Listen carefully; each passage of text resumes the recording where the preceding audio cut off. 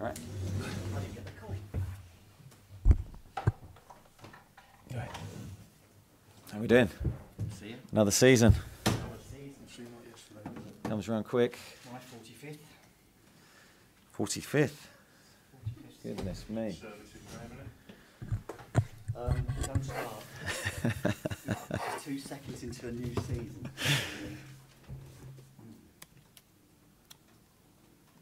New season, a lot of people.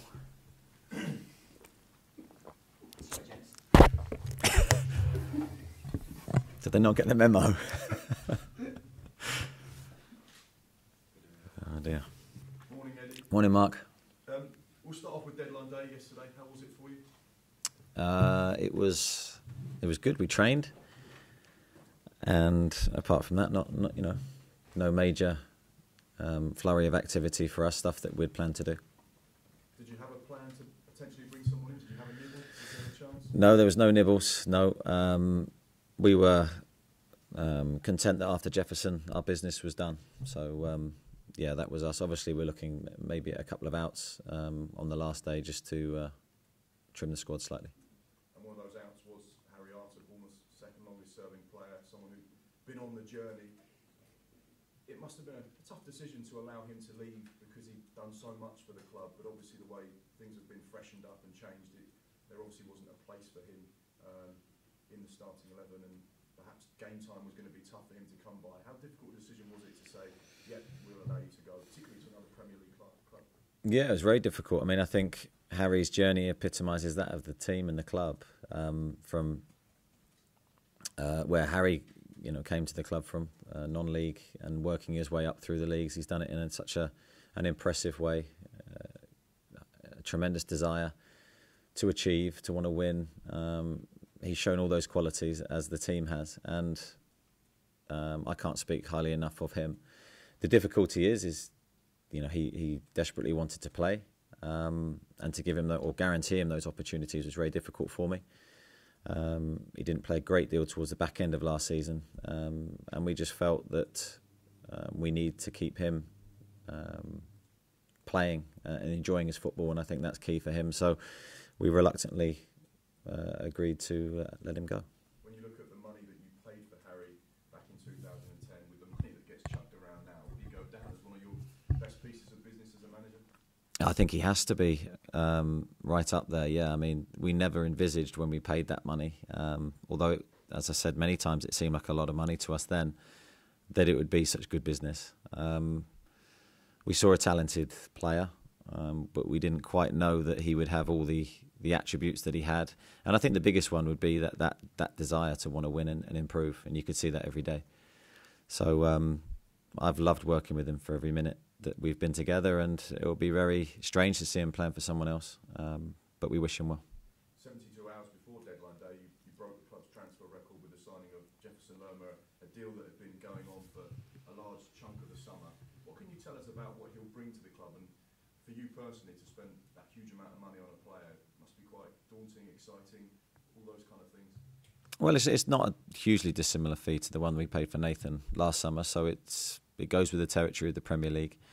Um, what will he bring? I think he'll bring a real physicality, um, athleticism to our midfield. He's got a really good engine, box to box player. Um, technically, he's good. Um, he's got good experience. You know, he's played in a very good league, plays for his country. So um, there's certainly a lot to like. He's got the profile that we're we're looking for. He's a good age. We think he'll improve um, with us. So I'm excited to see him play. One of the things that made me smile about his statistics is last season, 19 yellow cards in 33 games. What does that say about him as a player? Well, he's certainly competitive, and it is certainly, as I say, bring a physicality to our midfield. Now we've got to be careful that doesn't overspill into into red cards, obviously. But um, no, he seems like he's got a great personality, um, a very um, relaxed, down to earth lad. But on the pitch, obviously, he wants to win and he'll, he'll compete. So um, I think he'll bring that aggressiveness that we uh, we possibly need into our midfield. He's been sort of chucked straight in, really. He's, he's integrated into the squad very quickly. He's, he's been involved with things already.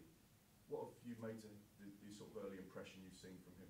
Well, he's had one training session with us, so I wouldn't say, you know, we've seen a great deal of him. Um, he's come to us on the back of, of not training after the World Cup, and um, that will be a, an issue for us in the sense we've got to build his fitness up and make sure he's acclimatized to the to the team to the squad. So there may be a period where people don't see him, um, but um, you know we want to get him up to speed as quickly as possible. And when you look back over your summer, three new faces into the club, obviously Diego, David, and Jefferson. How pleased are you with the business? And once again, fifty million pounds being spent by the club, they again. Yeah, I think uh, really pleased with the three players. I mean, you'd have seen, and everyone would have seen, David Brooks um, and Diego Rico last weekend play, and I think they would have been pleasantly surprised by what they'd seen. I think they're they're two really strong players who'll have really good seasons for us, all being well. Um, I think we've improved the squad. I think it looks stronger now. Um, leaner squad, I would say. We, we've trimmed, um, um and it's all 20 players, established uh, fit players that we have at the moment. All 20 players are good enough to play in the Premier League. You have Junior Stanislas and Carl Taylor out, so when they're both back fit, I think we've possibly got the best squad that I've ever had. Go as far as to say that when, when those players are back. Yeah, absolutely. I, I think everyone's very strong and real competition for places in all departments. Now, of course, that needs to be shown in the games and the results that we get. But um, as I sit here now, I'm very pleased with what we've done. Ahead of the weekend, um, obviously a huge challenge, four seasons in the Premier League against a, a Neil Warnock side, which you know what, what will come with, with him uh, and his experience. What are your thoughts of the game? Yeah, really tough game for us. I think um, you know we don't underestimate Cardiff, Neil Warnock at all. I think we know that they deservedly got promotion last year in what is such a tough league. Um, they did it in their unique way. Very physical team, very strong team, um, have their obvious strengths. So um, we need to guard against any um, complacency and make sure we attack the game in the right way, which I'm sure our players will. You know, I've never had that uh, a problem with that previously. But it is going to be a difficult game, and we're going to need the home crowd to be actively involved. Is that does it make it tough to prepare for a match like this because they've come up from the championship, they've got new faces in, and that, that sort of uh, adrenaline that they'll get and the buzz that they'll get from being in the Premier League? Does that make it slightly more difficult for you to, to go into? No, not really. I think um, we know we know them. We've seen them pre-season. We saw them last season, so we know what they're good at, um, and we know the the things that we're going to have to do well to combat that. But we have to believe in ourselves. We have to be uh, very good at what we do. And I think you saw in the Marseille game last week a really good, strong performance from us. So we'll be looking for more of the same, that type of intensity, that type of play that we, we showed. Last couple. Um, how key will home fans be this season? It's a small stadium, but when they really get behind the team, there is an amazing atmosphere. How important is it going to be that not only have you taken the team to the next level, but the fans take themselves to the next level in supporting the club? Yeah, I think any any any season, I'd say the same. You know, that the home fans are, are, absolutely pivotal to creating the right atmosphere for our players to feel relaxed, happy, confident in their own surroundings. I think historically the supporters have always been huge for us. We've always relied on them to inspire us in, in dark moments, difficult moments, and I think they've always done that. Hopefully, the, the aim for us this year is to try and get off to a, a better start than we have uh, the last few seasons, and to really hit the ground running. Um, to do that, as I said a second ago, I think the, the home supporters will be key to that. Finally, from me, when you look back 10 years ago, this was the season that Bournemouth got hit with the, the 17 point deduction. You'd never managed a game in your life. Can you re- remember those moments of that season and that time? Because you were obviously from a part of the, the older regime, things had, had changed very quickly over that time. Yeah, I'm just trying to think back. Um, I can't remember where what, what I was doing at the start of that season. That's right. Now I remember. Thanks, Mark. Um, yeah, I think we. I, I remember going into that season actually really hoping that we, we started the season well under under Kevin and Rob and thinking that we had a chance to be successful. Obviously, the points deduction and everything that uh, that happened at that time made it difficult for us. I remember we were working under such difficult conditions. Um, and then of course a lot happened that season. Ended up being one of the most memorable of my uh, my career, uh, still to this day. But um, yeah, it doesn't seem like ten years ago. Eddie, um, can you just give us an update on team news and who's available? You said there's injury for Stanislas. Yeah, injury for Junior, so he's working his way back to fitness. We anticipate it be about a month away without putting too rigid a time scale on it. Carl Taylor's missing with a a muscle problem. Diego Rico is suspended, um, and Jefferson Lerma would not be um, not be considered at this stage. You said it would be might be a little bit of time before you see Jefferson in, in, in the side. And he- It's uh, that's I guess that's just the nature of a World Cup year, isn't it? Yeah, I'm sure there's other other players who have been at the World Cup who won't be involved this weekend. I think that the difficulty for us is that uh, that Jefferson just haven't hasn't trained. So to put him or involve him ahead of players that have done a full pre-season, I think would be foolish. So we just have to make sure that when Jefferson steps onto the field, he's absolutely ready to um, to play at his best level. So um, we'll have to do some work with him behind the scenes. And you kind of, I guess, avoid the temptation to put him in too soon. Then are you comfortable with that situation? Because obviously anyone would want to play their record signing ASAP. Well, of course, but if he's not fit enough to, to do so, then I think it's foolish to do that. So um, that's what pre-season's for. We we would never uh, tell a player to, to miss the whole of pre-season and then step up and play. It's just not going to happen, and not not at this level. It's it's just impossible. So we'll take our time with him and make sure he's right.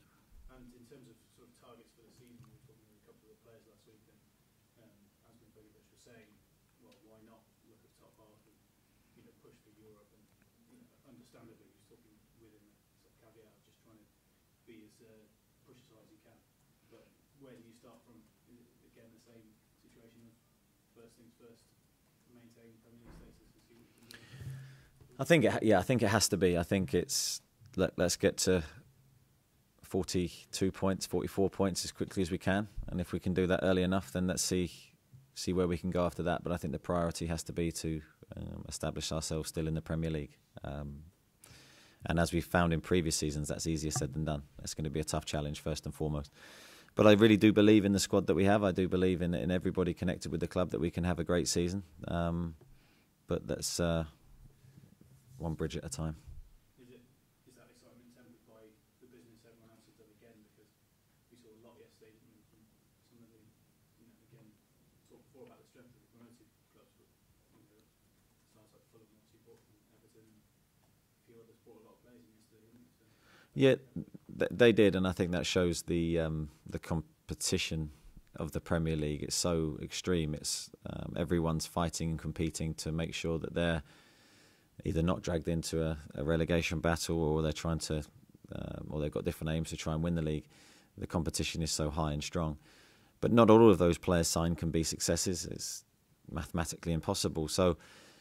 You know, we have to believe that the, the business we've done, although not high in numbers, is, is good in quality, and that our squad is strong enough. And I think one of our strengths um, will be the continuity that we have. The, everyone knows their role, knows their jobs within the team. We're not integrating too many new players into the team at the same time. They're all challenges and, and difficult things to do. So hopefully that strength comes out in the early performances.